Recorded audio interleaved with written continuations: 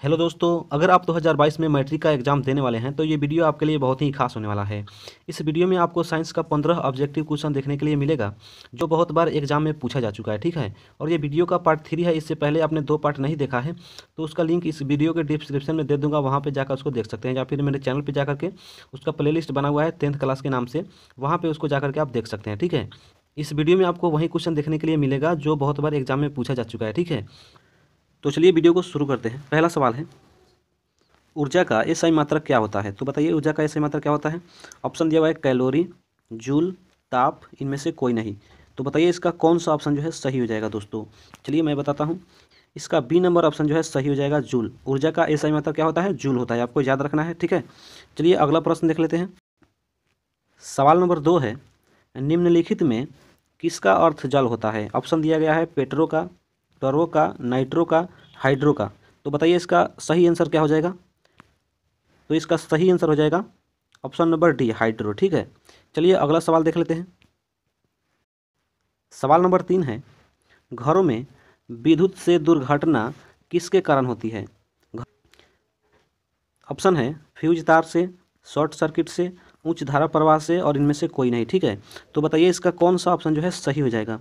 तो ये आपका ऑप्शन नंबर बीस सही हो जाएगा शॉर्ट सर्किट के द्वारा जो है घरों में जो है विद्युत से दुर्घटना हो सकता है, ठीक है? तो चलिए अगला सवाल देख लेते हैं। सवाल नंबर चार है, फ्लेमिंग के वाम हस्त नियम में फ्लेमिंग के वाम हस्त नियम में अंगूठा किसकी दिशा को संकेत करता है? ऑप्शन है धारा का चुंबकीय क्षेत्र का, बल का, इनमें से कोई नहीं। तो बताइए इसका सही जवाब क्या हो जाएगा? तो इसका सही जवाब हो जाएगा बल का। ऑप्शन नंबर सी में दिख रहा है, ऑप्शन नंबर सी जो आपका सही हो जाएगा। चलिए अगला सवाल देख लेते हैं। सवाल नंबर पाँच है, किसी अम्लीय बिलियन का जो है पीएच मान होता है? ऑप्शन है सात के बराबर, बी में सात से अधिक, सी में जो है सात से कम, इनमें से कोई नहीं। तो बताइए इसका सही जवाब क्या हो जाएगा? इसका सही जवाब हो जाएगा सात से कम होता है, ऑप्शन नंबर सी में दिख रहा है। ऑप्शन नंबर सी जो है आपका सही हो जाएगा। चलिए अगला सवाल देख लेते हैं। सवाल नंबर छः है। जठर रस का जो है पीएच मान होता है।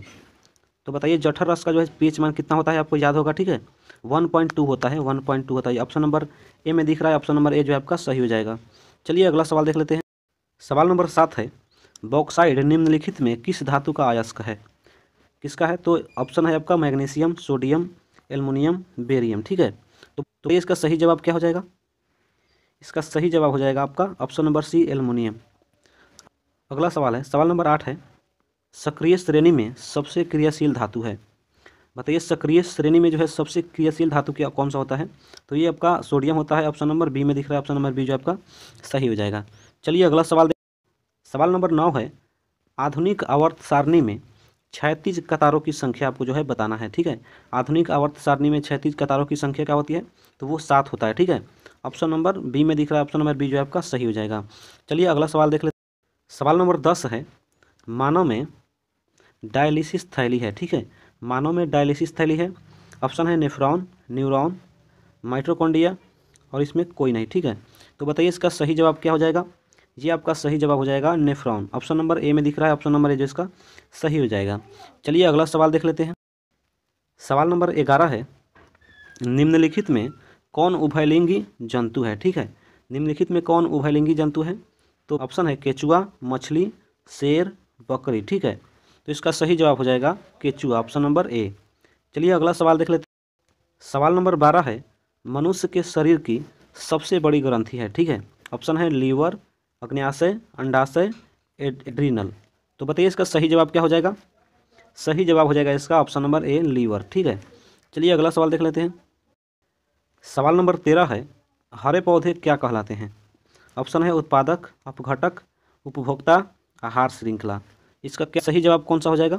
सही जवाब हो जाएगा उत्पादक। ऑप्शन नंबर ए में दिख रहा है, ऑप्शन नंबर ए जो आपका सही हो जाएगा। चलिए अगला सवाल देख लेते हैं। सवाल नंबर चौदह है निम्नलिखित में से कौन प्राकृतिक संसाधन नहीं है? ठीक है? निम्नलिखित में से कौन है जो प्राकृतिक संसाधन नहीं है? ऑप्शन है वायु, मृदा, जल, जीवधारी। तो बताइए इसका कौन सा आंसर जो है सही हो जाएगा? तो ये जो है, ऑप्शन नंबर डी जी इसका सही हो जाएगा, जीवधारी। चलिए अगला सवाल देख लेते हैं। सवाल नंबर पंद्रह है और लास्ट है, ठीक है? इन सभी प्रश्नों को आपको याद रखना है, ये सभी जो है, बहुत बार एग्ज़ाम में पूछा जा चुका है और इन्हीं प्रश्नों को जो है, ये 2022 में यानी अभी जो परीक्षा होने वाला है, उसमें आने का बहुत ज़्यादा ज़्यादा जो है चांसेस है, ठीक है? तो ये सभी प्रश्नों को आपको याद करके रखना है। पंद्रह क्वेश्चन है। सर्च लाइट का जो है परावर्तन सतह होता है। ऑप्शन है उतल अवतल, समतल और इनमें से कोई नहीं, ठीक है? तो इसका सही आंसर हो जाएगा अवतल, ठीक है? देखिए, आपको, आप दो बार इस वीडियो को देखो या फिर तीन बार देखो, ठीक है? लेकिन आपको इन सभी प्रश्नों को याद रखना है।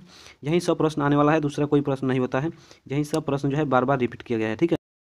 तो आपने अभी तक हमें सब्सक्राइब नहीं किया है, यानी इस चैनल को सब्सक्राइब नहीं किया है तो सब्सक्राइब करके रख लो। इससे क्या होगा कि मैं जब भी चैनल पर वीडियो अपलोड करूँगा, वीडियो जो है सबसे पहले आपके मोबाइल फ़ोन तक जाएगा, आप आसानी से देख तो इस वीडियो में इतना ही। चलिए अगली वीडियो में मिलते हैं, तब तक लिए